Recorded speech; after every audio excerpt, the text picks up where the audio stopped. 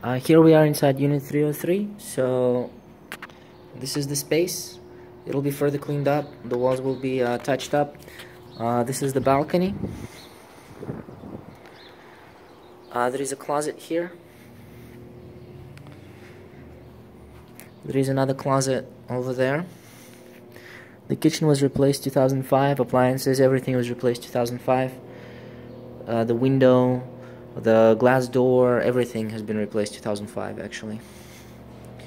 And um, this closet, it cuts further to the left here. So it's actually quite, quite long, quite big.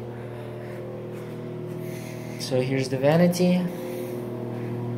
And here's the, the bathroom. It'll be further cleaned up as well.